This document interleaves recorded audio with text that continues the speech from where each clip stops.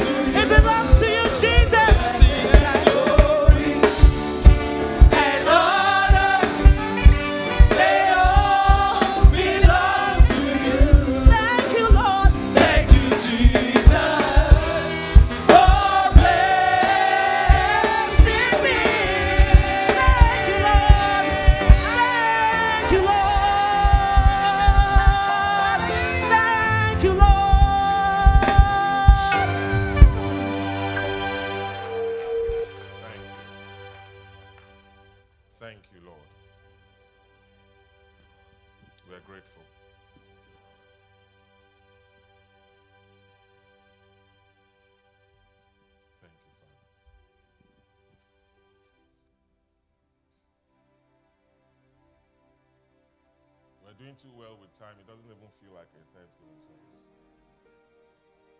I'm not saying I'm going to. I'm not saying I'm going to stay here forever. But this morning we want to continue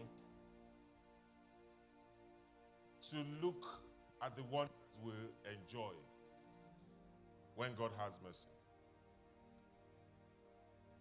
Unbelievable wonders. And my goal for the last few weeks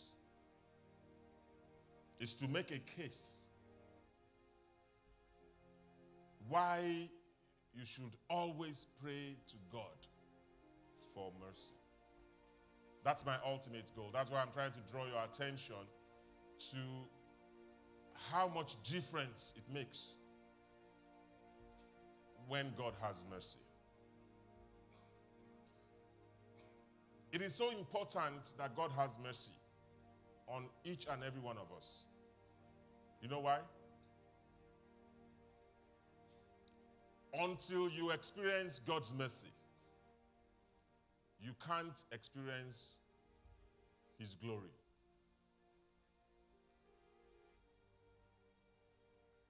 In the last two sermons on this topic,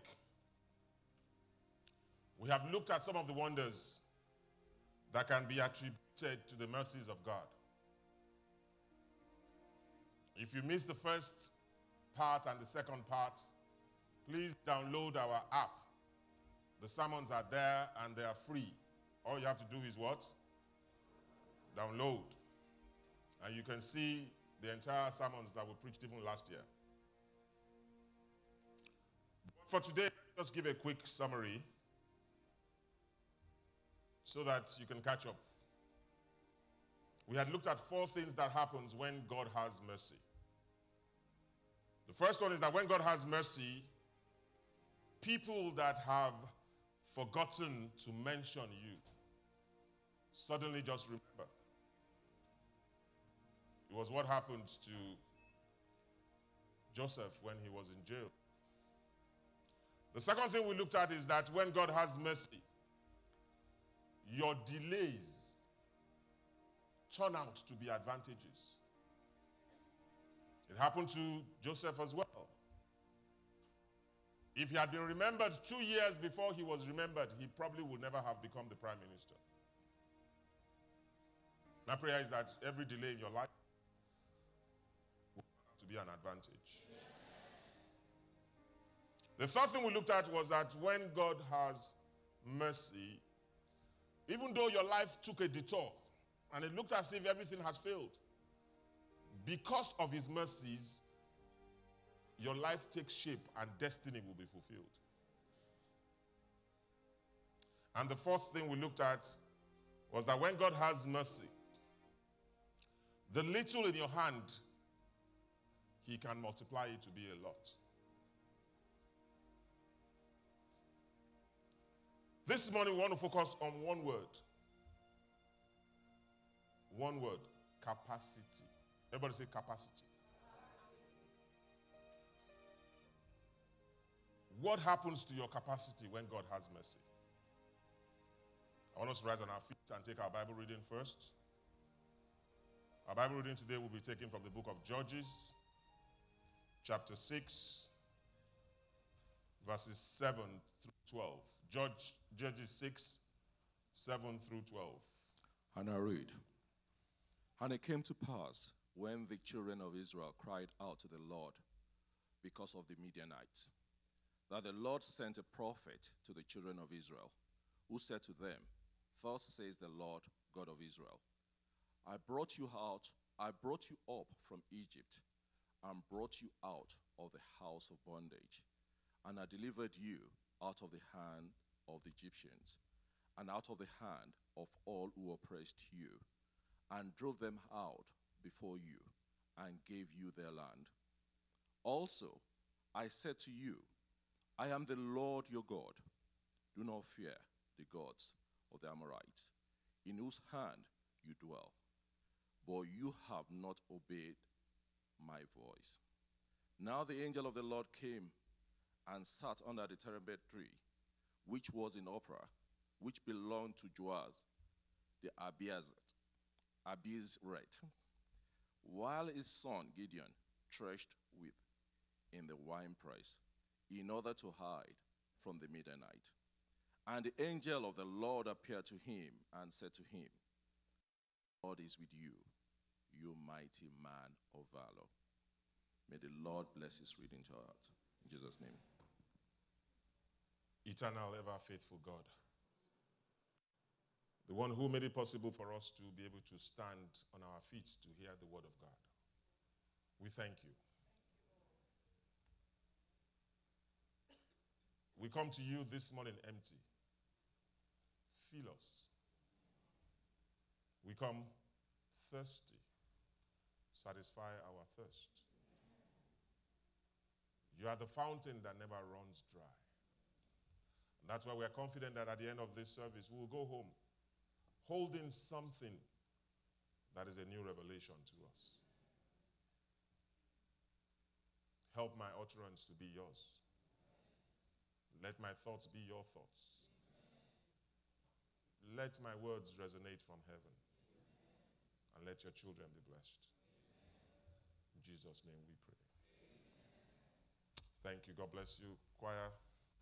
The Lord bless you.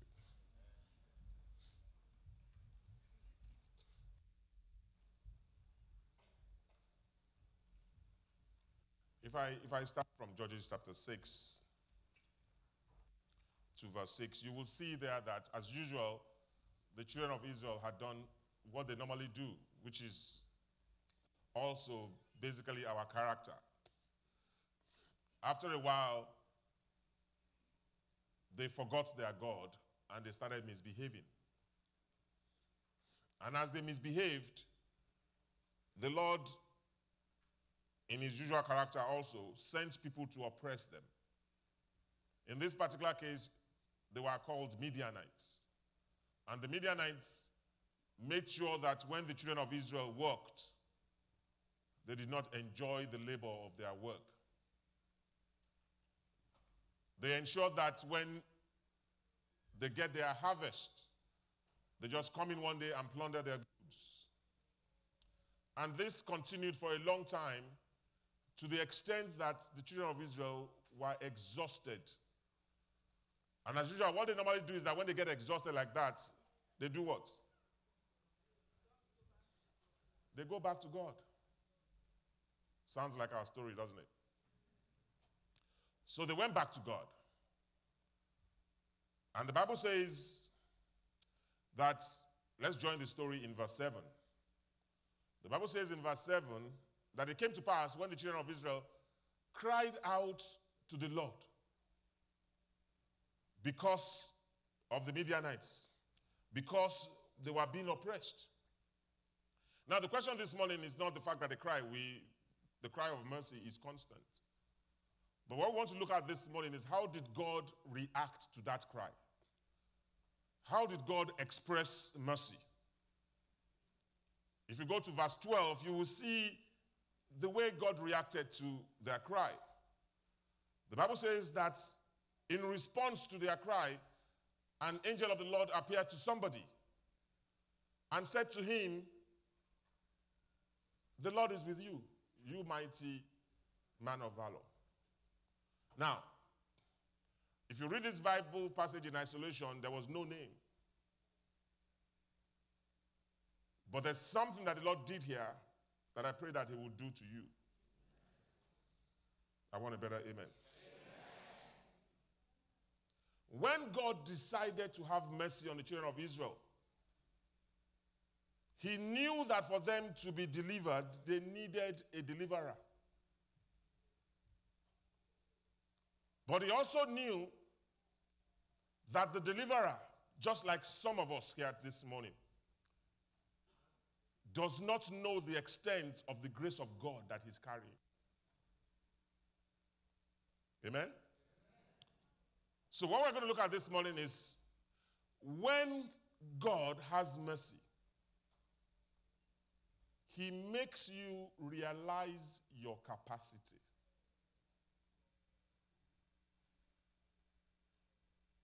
Let's say that together. When God has mercy, He makes you realize your capacity. A lot of you are sleeping giants.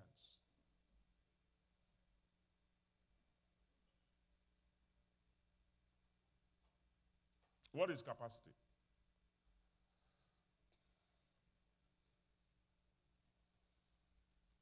Capacity is the innate ability to do, to retain, and to release. You cannot release more than what you have in you. So it is the ability to do what? To do. It is the ability to retain in terms of volume. Your capacity is the volume you can retain. Your capacity is also the volume or the quantity you can release.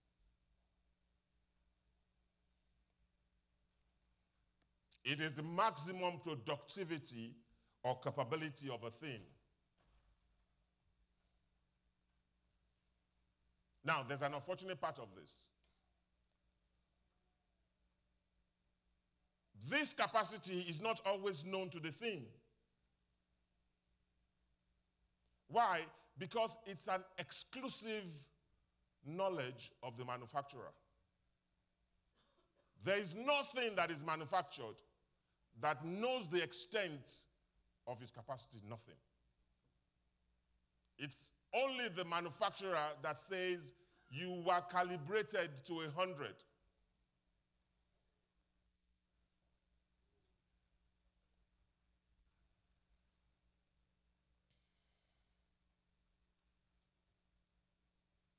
Last week I said something, I know it's, it's, it's, it stayed with some of you because you kept on referring to it or praying with it.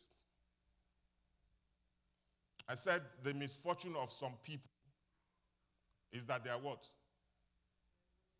They are loaded but not needed. That's the misfortune. That's the misfortune of a lot of people. They are fully equipped.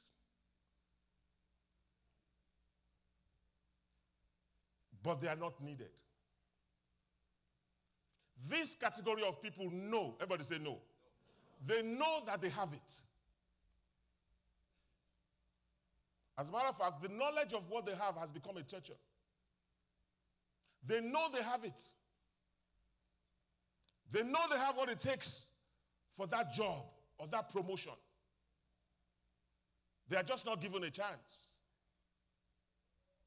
This category of people know that they are pretty, they are nice in that inside out. And yet nobody is asking for them. They know. When they look at the mirror, they can see the goodness of God. But it does not translate to hello.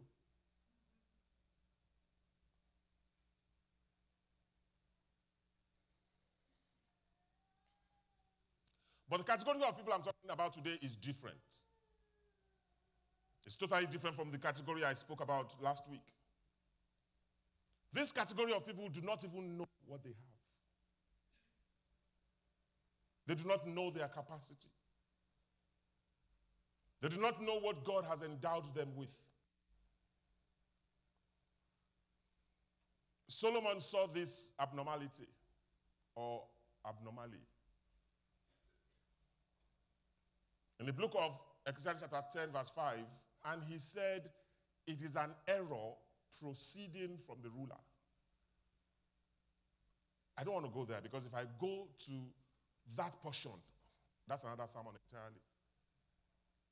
We will have to find out who the ruler is at every point of time, but that's, I don't want to be too complex this morning. We can do that on a Wednesday. But he saw, he noticed that there was an error. Something was wrong. Then he goes forward, he goes on to describe the error. He says, Folly is set in great dignity, while the rich is set in lowly places. He goes on to describe the error. He says, I have seen servants on horses, while princes walk on the ground like servants. It's abnormal. It's an error. But the only reason why these princes are walking on the ground as servants is because of what? They lack the knowledge of their capacity. They don't know who they are, they don't know what they have, they don't know what God has placed in them. And that's why I want to say this morning that when God has mercy, He corrects the error of placement. He corrects the error of the way you are perceived, the way you are placed, and where you place yourself. I, I stand on this altar and I pray for whoever you are. That the Lord will correct the error of your current placement. There's an error that you have lived with. You are walking when you should be riding. I pray that the Lord Almighty will put you back on your horse. I want a better amen. amen. How does God put you back on your horse? How does He do it?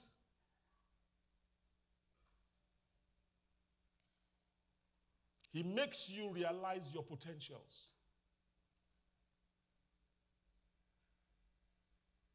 He makes you realize your designed capacity.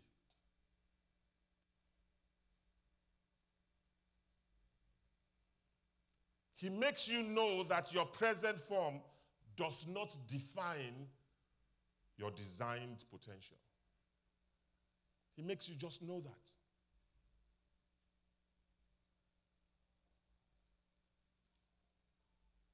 Maybe you are here this morning. Over the years, you have started to see yourself shrink. You shrink in the way you perceive yourself. You have been intimidated and you are timid. Now you feel like an ant, but there's a lion in you. I pray that the Lord Almighty will correct that error in your mind. In the name of Jesus. How does God do it? He makes you realize who you are. The Bible says in Judges chapter 6, verse 12, that an angel appeared to a man. And he called the man in his created capacity, not in his present form. When the angel saw the man, the man was timid, hardworking, but he was hiding behind the bushels. He was working hard, but he felt like he was the smallest of the smalls. He felt that amongst his nation he was a nobody. He felt that he was so unimportant and insignificant. But when the angel of God called him, he didn't call him in the way he perceived himself. The angel called him in the way heavens saw him. You will see yourself the way heaven sees you. The angel of the Lord came to him and said, You, mighty man of valor. He called him in his designed capacity, his created capacity. But because God knows that it is impossible for a de- deliverer to walk alone, no matter how much I have a dream for this church, no matter how much I, I weep for your life, I can't do it alone. I need 300 men. I need support. I need people who think like I think, who think that God can do all things. And that was what God did for Gideon. God did not only show Gideon that he was a man with capacity, he called him and called 300 people at the same time. The Bible says that at the first call, 32,000 people showed up. 32,000 of them showed up. All of them imagining that they had capacity. But not everybody has capacity. The first thing he did was that he told them, if you are afraid, indicate. And that's why I pray for you this morning that fear will not be your portion. Even when you feel the fear, you will do it anyway. So when he said, Are you afraid? 20,000 of them left out of fear.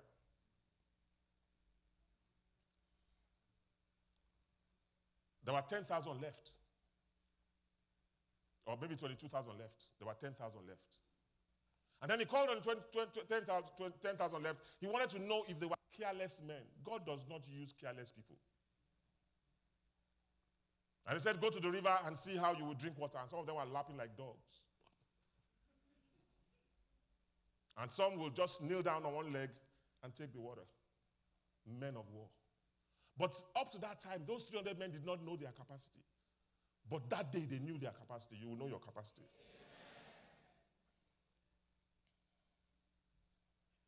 Let me tell you what happens when God has mercy. Because not only did he show Gideon that he, he had capacity, not only did he show these 300 men that they had capacity, when God has mercy, he does something else. Many people are living today, they are afraid of their enemies simply because they don't realize their capacity. And that's why you need to pray for mercy. You know why? Because when God shows mercy, when God has mercy on you, another thing He does is that He makes you realize that the enemy you are afraid of is afraid of you.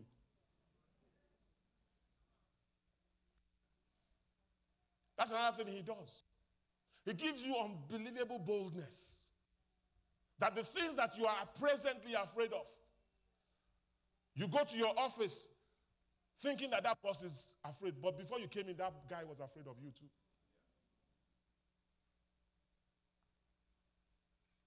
And that was what God did. God made these people hear a voice, and I pray that tonight you will hear a voice that will increase your boldness. The Lord said to him, Go and listen in the camp of your enemy. Why would God say that? This is a man that was already afraid of these people. He said, Move closer, go and listen. And it happened to on the same day that the Lord said to him, Arise, go down against the camp, for I have delivered into your hand. And God said to him, If you are afraid, go listen. Verse 10. It says, But if you are afraid to go down, go down to the camp with Purah, your servant. When God had told him to go and take over the Midianites, Gideon was still afraid with his 300 men. He now said to him, You know what? If you are still afraid, go and listen to what people are saying. And I can bet, I'm sure you know what Gideon said. God, I told you I'm afraid. You said I should go and listen.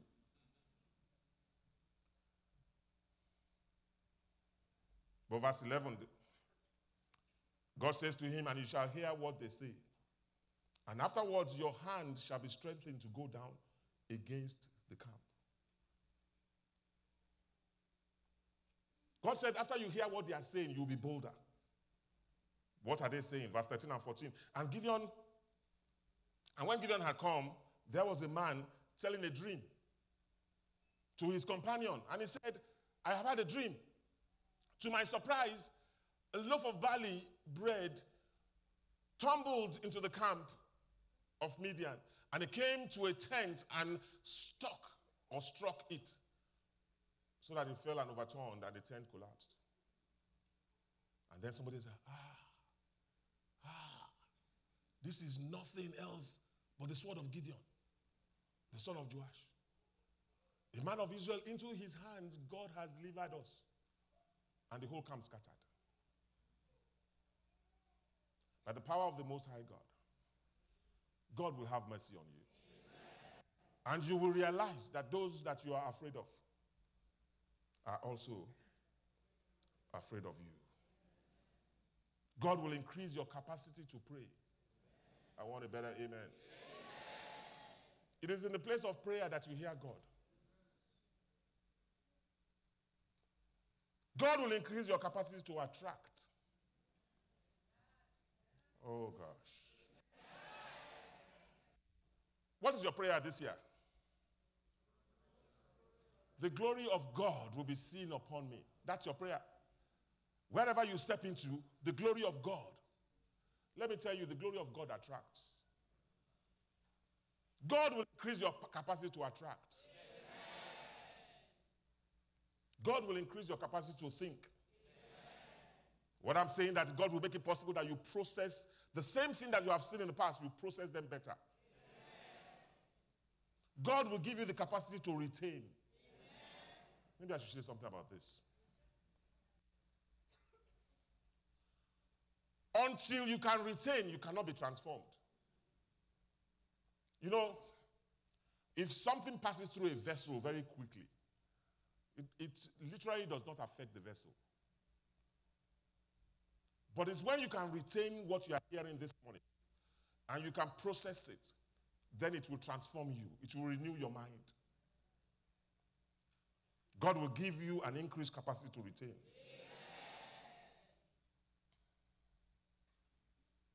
Many of us are not good containers.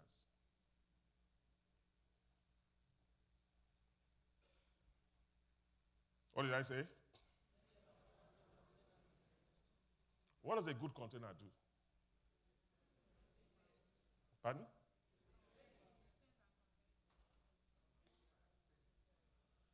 A good container will take its goods home from the place of harvest to the house. Nothing will drop. But a leaking container gets home empty. You will not get home empty. not only will God give you the capacity to retain, to contain every hole in your life that is causing the drain, God Almighty will seal them. Let me close.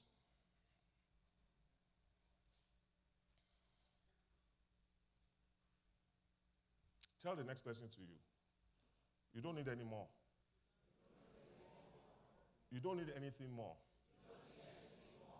to become great. All you need, God has given you. You know what your prayer should be?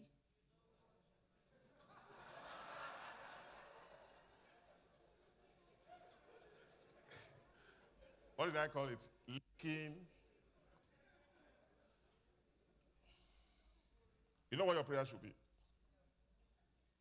When you have all you need already inside you, the mercy you are praying for is that God will give you a knowledge of your capacity. Amen? Why is this prayer so important? That God must reveal you to you. People are not limited by what they lack.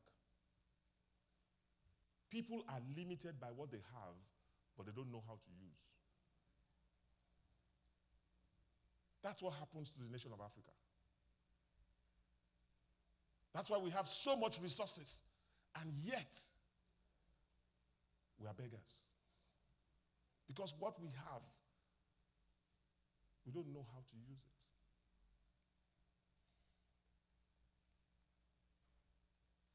People are limited because of unutilized capacity.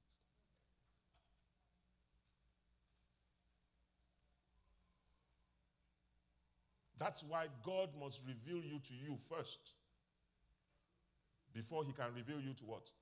To the world.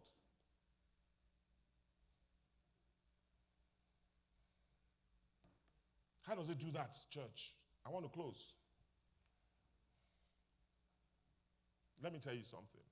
Those who are sitting down up there, what they see is different from what you see. I'm not saying they have a better view. Some of them are sleeping already, so I'm just kidding. But the point I'm trying to make, church, is this because I want you to pray smartly. What you see is a function of where you sit.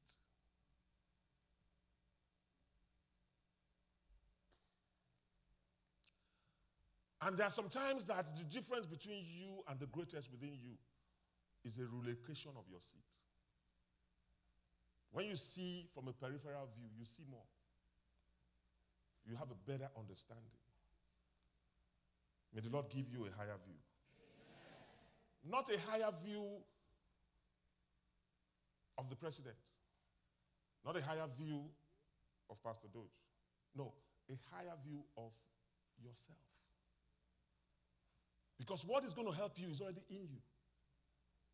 You just need to know what your capacity is, and your life will change. Nothing changed in Gideon. Nothing changed. He was the same man on Monday that became a warrior on Tuesday that became a deliverer on Wednesday. The same man. But something changed in the way he thought, the way he perceived himself, the way he looked at life. That will happen to you.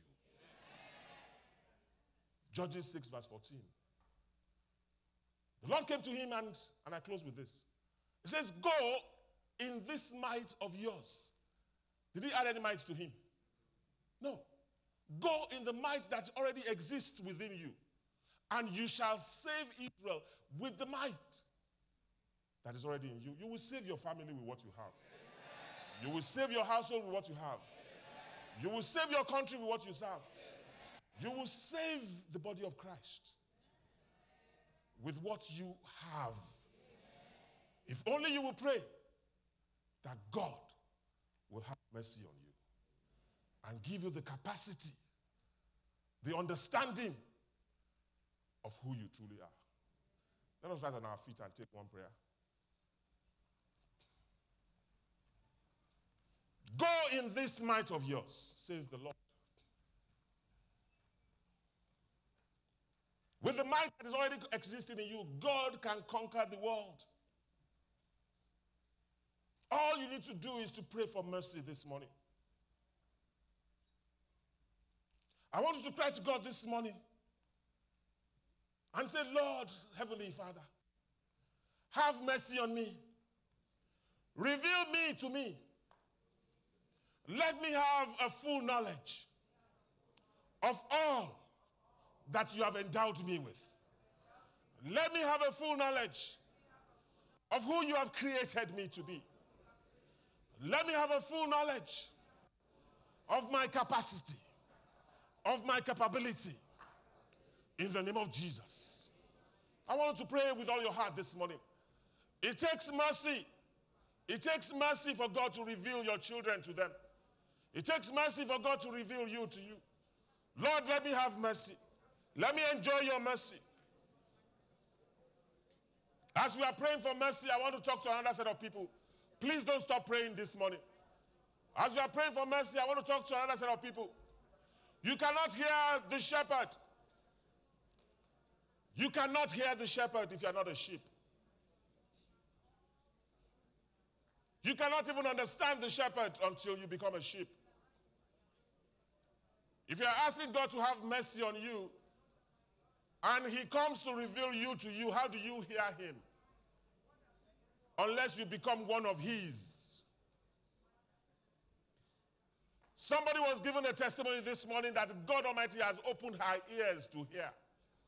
That's one of the greatest testimonies you can give. Because the moment you can hear God, there's no limit to your progress. Are you here this morning? You want to become a sheep? Are you here this morning? You want to give your life to Jesus? I know, I know you have been half in, half out, but today you want to go all the way in. You want to go all the way in so that you can be a sheep that the shepherd will speak to and he will understand.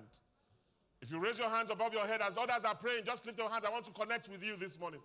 If you're in that category, God bless you. If you're in that category, just lift your hands and wave at me. I want to connect with you so I can pray with you. If you're in that category, you are saying, Lord, I want to be a sheep. Yes, I want to hear you. I want to be called yours. I want to be known so that I can know who I am. Please don't stop praying for mercy if you are already a sheep. Ask the mercy of God this morning that you will know yourself, you will know your capacity. You will know how dangerous you are to the kingdom of darkness. You will know that those who you are afraid of are afraid of you. You will know without a doubt that we serve a God that stands by you. Those of you who have raised up your hands, you want to say to God this morning that Heavenly Father, I thank you. I thank you for bringing me to your sanctuary this morning because you have given me a privilege to receive you into my life. I accept you. And I ask God Almighty that as your sheep henceforth, let me hear you. Speak to me. Give me guidance. Deliver my life from every sin and iniquity. And give me the opportunity to end with you in eternity. Thank you for those of you who have given your life. And those of you who are praying, I want to bring your prayer to an end this morning. As I decree and I lift up my voice in the name of Jesus, I speak as your oracle, Heavenly Father. I speak as one who you speak to. I speak this morning as the authority that you have put over this house. You have given me the power to bless, and I bless these ones.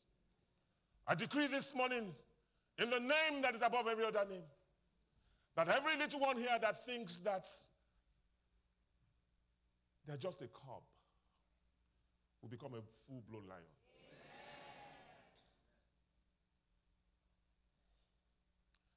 Everyone here, Lord Almighty, that sees themselves as a Lilliputian will suddenly become a giant. I pray, Heavenly Father, Lord, that these ones will know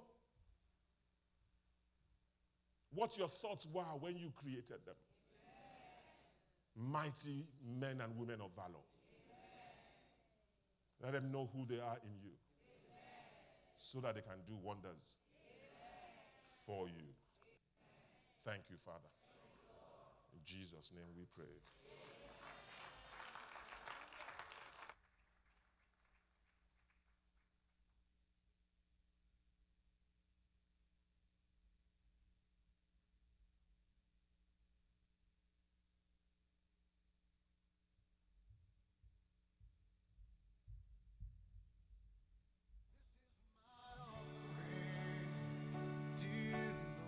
On behalf of the pastors of RCCG Kings Court Chapel, we would like to say a big thank you for your gifts and sacrifices to the ministry. Your giving helps us to spread God's word to the lost all over the world. As you give today, do remember that you have different forms of giving. If you would like to pay by card, please use any of the designated kiosks located in the back of the sanctuary. If you would like to pay using your smartphone, you can download the Givelify app, select RCCG Kings Court Chapel, select your giving amount, and the purpose of your donation. You can also text your donation to 770 285 0209 or simply give with cash or checks. Whichever method you choose, please remember to indicate appropriately on the envelopes.